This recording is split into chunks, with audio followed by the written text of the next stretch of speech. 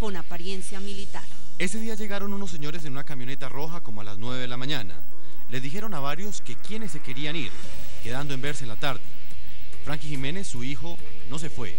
En la tarde como a las 4, Douglas regresó con plata. Compró un jean. Los de la camioneta eran dos hombres, uno mayor que el otro con corte militar. El que se le acercó a Douglas era más joven y le notó bracker en los dientes. Douglas se fue a despedir de la mamá y se fue para la camioneta que quedó a 50 metros del kiosco. Se fueron como cuatro. La justicia colombiana no tiene dudas de que una de las víctimas de estos falsos positivos es Douglas Alberto Tavera Díaz, cuyo cuerpo hoy, cuatro años después de su asesinato, sigue desaparecido. Según la sentencia, las señas particulares que Marta Díaz, la mamá de Douglas, entregó a las autoridades para la búsqueda de su hijo coinciden con las de la necropsia practicada a uno de los cuerpos de los falsos combates de los escuadrones Bombarda 3 y Cobalto 2 en San Juan del Cesar, norte de Colombia. Puntualmente la señora Díaz habló de varios tatuajes que tenía su hijo, uno de ellos en el cuello con forma de perro. La necropsia de medicina legal practicada al cuerpo de Douglas identifica como señas particulares. Tatuaje en forma de un perro de la historia de Carlitos, en latero posterior del cuello. A este hecho se suma que el cuerpo también coincide en su apariencia física a la descripción de su hijo Douglas dada por Marta Díaz. Para la justicia colombiana, se trata de una de las personas que fueron contratadas en cercanías del Cementerio Universal de Barranquilla y traídas mediante engaño hasta esta jurisdicción de San Juan del Cesar, siendo llevados a la zona rural en inmediaciones de los corregimientos de los Aticos y Guamachal, donde encontraron la muerte a consecuencia de disparos de arma de fuego. Según los sentenciados, eh, según lo que ellos le cuentan a, la juez, fue un militar de más alto rango el que orquestó el plan, como usted también nos lo está diciendo, y el que incentivó a los otros a, ser parte del plan. Ellos dicen no solamente que los incentivaron, sino que los amenazaba de echarlos del ejército a estos soldados y suboficiales si no cumplían eh, con eh, realizar esta criminal tarea. Ese, ese, mayor es Julio César Parga Rivas, hoy está extraditado a los Estados Unidos por narcotráfico, fue el 19 de marzo de 2009 que fue extraditado. ¿Usted cree entonces que esta persona va a poder responder por el tema de los falsos positivos o se va a quedar ya en Estados Unidos respondiendo pues, simplemente por narcotráfico? Que también es otro crimen, pues, pero, pero este es un crimen pues, muy doloroso y es un crimen que, bueno, ha traído uno de los eh, peores escándalos al ejército de Colombia. Eh, lastimosamente, eh, en, un momento inadecuado, diría yo, para el ejercicio de la verdad, la justicia y la reparación, eh, la Corte en su sala penal tomó decisiones de extraditar a personas por delitos graves cometidos en Estados Unidos, por supuesto, pero que habían cometido delitos mucho más graves en Colombia. Ese es el mismo caso de los jefes paramilitares hoy extraditados, pero por supuesto que es el caso también de este oficial del ejército que, abusando criminalmente de su poder, planeó una operación entre soldados del batallón La Popa y soldados del batallón de la Alta Montaña para dar supuestamente resultados positivos. Por supuesto que va a ser muy difícil, Claudia, que este oficial regrese al país a cumplir con la sanción penal que le corresponde y por supuesto a que devele la verdad de todo lo que ocurrió. Si efectivamente fue una ocurrencia suya solamente para demostrar resultados positivos o eh, habían superiores que habían recomendado y establecido esta práctica como una política sistemática al interior de la Fuerza Armada. Sentido abogado, es decir, ¿cabe algún tipo de posibilidad que ustedes eh, soliciten, por ejemplo, que sea escuchado, eh, digamos, un intercambio entre las autoridades colombianas y de Estados Unidos, como se ha hecho con los paramilitares, precisamente para el caso de las víctimas del paramilitarismo, algo similar, que se le pueda tomar una declaración a él en los Estados Unidos? ¿Ustedes han pensado en eso? Porque según los datos que tenemos de la Fiscalía, este mayor está involucrado en cinco casos de falsos positivos. ¿Lo han pensado o pensarían ustedes en en usar esa herramienta? Sí, existe una convención interamericana de asistencia recíproca en materia penal. Exacto. Esta convención fue aprobada en Colombia mediante un decreto del año 2005 y este instrumento de derecho internacional público permite de alguna manera que solicitemos no solamente que sea escuchado, sino incluso que sea traído al país para ser escuchado y procesado.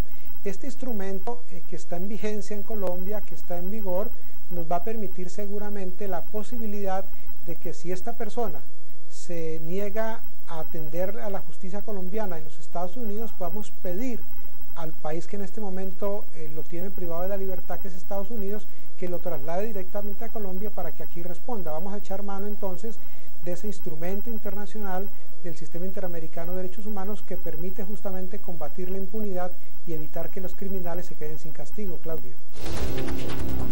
¿Cómo saber si una camioneta es extravagante o no tiene lo suficiente? Compárela con la Ford Escape 4x4.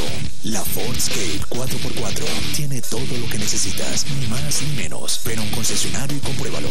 Ford Escape, la vida está afuera. El noticiero del entretenimiento y sus protagonistas presenta. La alfombra roja de la premier de la nueva cinta de Jennifer López, Plan B. Esta producción marca el retorno de la actriz a la pantalla gigante. Estas y más primicias solo aquí en Planeta Gente, en donde los famosos son noticias. Todas las noticias sobre la música, el cine, el espectáculo y el arte. Solo por NTN 24. Noticias sin parar. Este fin de semana en Pasaporte a Sudáfrica. Analizamos las posibles sorpresas del Mundial 2010. Entrevistas exclusivas con la leyenda del fútbol portugués, Paul Butre, y de Camerún, Pierre Huevo. El profe Vélez nos cuenta cómo funciona tácticamente la Inglaterra de Fabio Capello. Y además el concurso Mira quién canta. Escriban a pasaporte a Sudáfrica arroba ntn24.com y adivinen quién entona este rap inglés.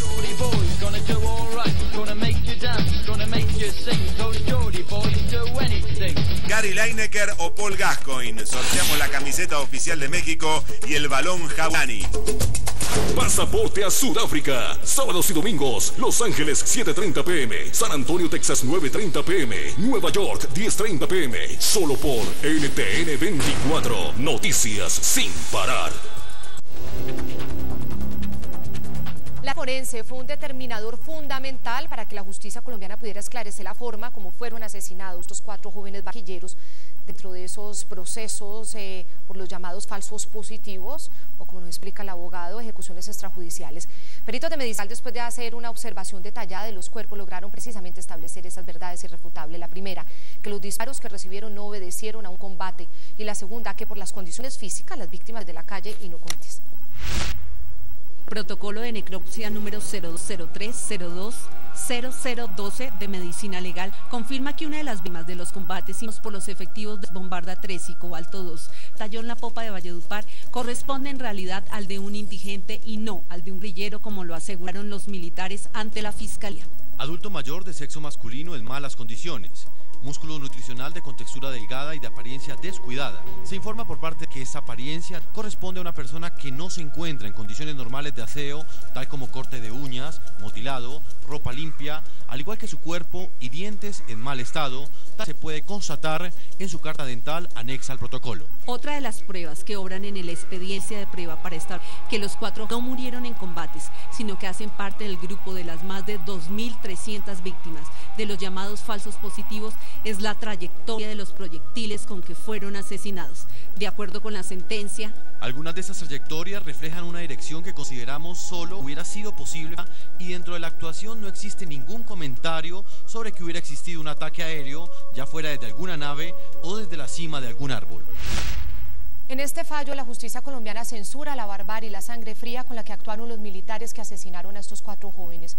Según la juez, el Ciemile Guarán Brito, de manera consciente y voluntaria, los militares inventaron una estrategia para mostrar resultados positivos con el fin de conseguir lucro y, al parecer, dice textualmente, algún reconocimiento. Según el fallo, en esa carrera demencial no tuvieron en cuenta el sufrimiento de sus víctimas ni del joven, quien inicialmente, según lo cuentan ellos mismos, los implicados, logró fugarse y lo persiguieron, dice la juez, como un animal fugitivo hasta que al fin se le dio cacería.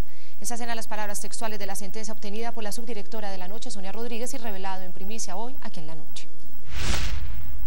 La justicia colombiana no tiene dudas de que los militares que participaron en estos falsos combates en los que fueron asesinados cuatro jóvenes actuaron siempre de manera consciente y voluntaria.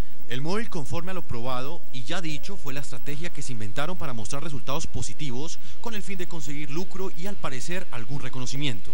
En su sentencia, la juez de San Juan del Cesar, Elsie Emilia Iguarán Brito, condena cómo estos militares actuaron a sangre fría, seleccionando a sus víctimas y orquestando todo un plan para asesinar a estos indefensos jóvenes y de paso engañar a sus superiores, al presidente y a todo un país sobre sus actividades contra grupos terroristas. Antes que proteger la vida, procedieron de una manera perversa y despiadada a asesinar a unos seres indefensos y lo que es peor aún, vistiéndose de gloria con ese crimen como quiera que en principio hicieron aparecer el suceso como un combate en el cual habían abatido unos guerrilleros, lo que de suyo trae ganarse los máximos honores a una escuadra militar cuando la realidad era otra bien distinta. La sentencia también censura el dolor y la tortura a que estos militares del batallón La Popa sometieron a sus víctimas. Se olvidaron de sus deberes y obligaciones constitucionales y orientaron su accionar a cometer su fin sin siquiera detenerse a reflexionar sobre el sufrimiento que debieron haber soportado las cuatro personas mientras estaban en cautiverio y qué decir